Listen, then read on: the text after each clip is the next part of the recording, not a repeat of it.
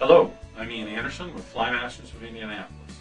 I'd like to speak to you today briefly about what I think is one of the best fly tying books on the market today. Benchside Introduction to Fly Tying is a fantastic book, especially for beginners, anybody who's just getting started in fly tying, as well as those that are looking to improve on different techniques and just tie better flies. There's a number of reasons why this book is so uh, beneficial and such a, makes it such a great book. Uh, initially, there's a great introductory section if you're a beginning fly tyer and you need to turn around and learn just the basics about tools, about threads, about hackles, fur, all the information that's uh, all new to beginners is all right encompassed right in the very beginning of the book. But where this book really shines is after it gets through all that introductory information, you get into actually tying the flies, the book actually splits from top to bottom.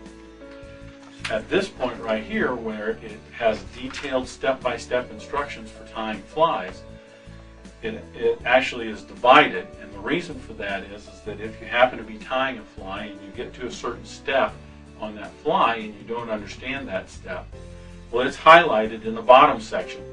So if you're wanting to know how to do, say, a, uh, a hare's ear tail, read the page number in the bottom section and you would flip over to wherever that page is and it would turn around and it would tell you just how to turn around, tie in those hairs, tie in the wing, do your direct dubbing or dubbing loop, whatever have you, and then you go right back to tying the fly on the top half.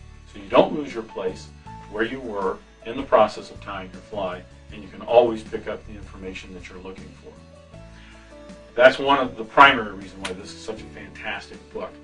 The second is, is there, there's literally over 70 flies in this book uh, that are nice detailed step-by-step -step instructions.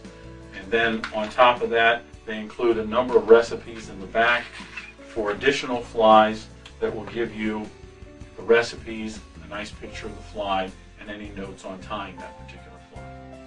Lastly, the book has a ring binding at the, the bottom or on the back, so it lays flat on your table, so you don't have to worry about propping it open or anything.